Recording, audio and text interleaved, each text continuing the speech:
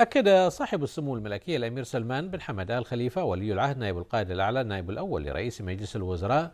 أن التحديات التي واجهت دول المنطقة قد زادت من تكاتف دول مجلس التعاون لدول الخليج العربية وإصرارها على تحقيق المزيد من عرى التنسيق والتعاون الأخوي على كافة المستويات فيما بينها بما يحقق مواصلة تعزيز وحدة وتكامل خطاها نحو خدمة شعوب دول مجلس التعاون ويحفظ أمنها واستقرارها ومنجزاتها. جاء ذلك لدى لقاء سموه حفظه الله اليوم بقصر القضيبية معالي الدكتور عبد اللطيف بن راشد الزياني الأمين العام لمجلس التعاون لدول الخليج العربية حيث هنأ سموه الأمين العام لمجلس التعاون بثقة أصحاب الجلالة والسمو قادة دول مجلس التعاون بتجديد تعيينه أمينا عاما للمجلس وهو ما يؤكد الجهود الطيبة والحثيثة التي بذلها الزياني طوال شغله للمنصب واطلاعه بمهام هذا المنصب على خير وجه.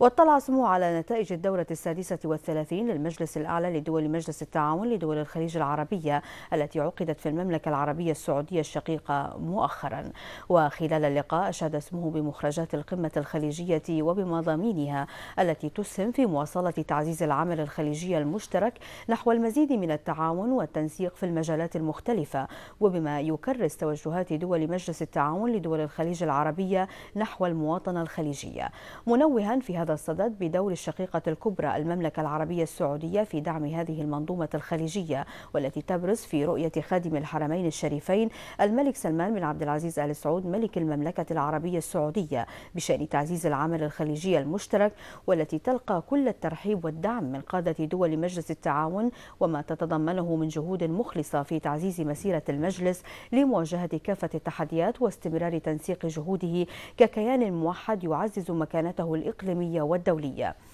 وأعرب سموه عن تطلعه إلى المزيد من عرى التكامل الخليجي وأن تسهم القمة الخليجية التي ستعقد في مملكة البحرين في عام 2016 في تحقيق كل ما من شأنه بلورة هذه الجهود والمبادرات بما ينعكس على استمرار تعزيز العمل الخليجي المشترك والتكامل بين دول وشعوب دول مجلس التعاون لدول الخليج العربية بما يوازي واقع وحجم التحديات التي تمر بها المنطقة على مختلف الأصعدة.